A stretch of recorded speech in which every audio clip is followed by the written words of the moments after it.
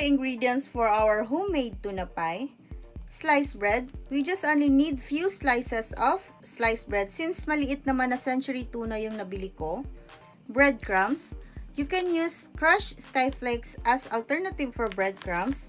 Cheese, mayonnaise, 2 eggs, onion, salt and pepper for seasoning, and then lastly, the cooking oil for deep frying. So magsisimula na tayo!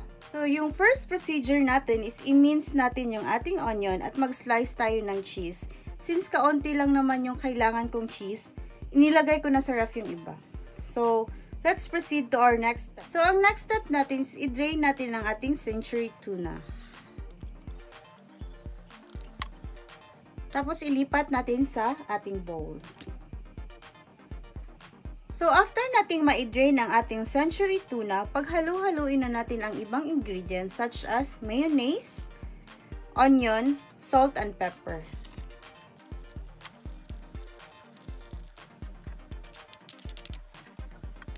So, ang ating salt and pepper, depende yun sa inyong panlasa kung ilang salt at ilang pepper yung ilalagay ninyo. Tapos, i-mix na natin.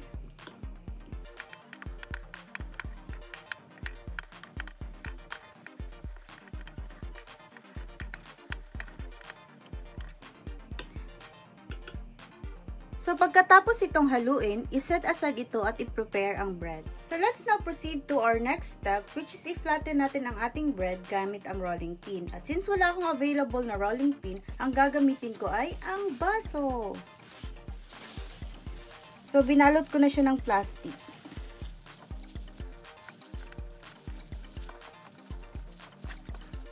So, this is our flattened bread.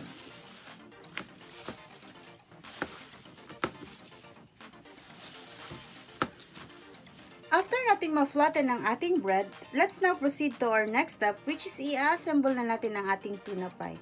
So, kukunin na natin ang ating ibang ingredients. Let's now proceed to our next step which is i-assemble na natin ang ating tuna pie. So, I have here a bread. Kinat ko lang yung gilid para even yung form niya. Tapos, lalagyan ko lang ng tuna, tuna mixture. Tapos, cheese. And then, egg.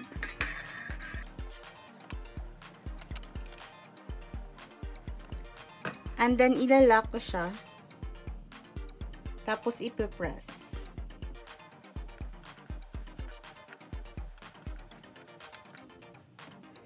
Tapos, gamit ng tinidor, isisil ko pa siya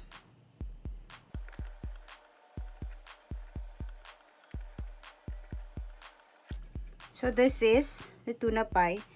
Tapos, ididip ko sa itlog. And then, sa breadcrumbs.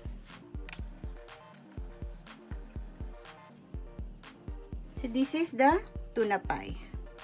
So, ready na nga tayo for frying. Let's now proceed.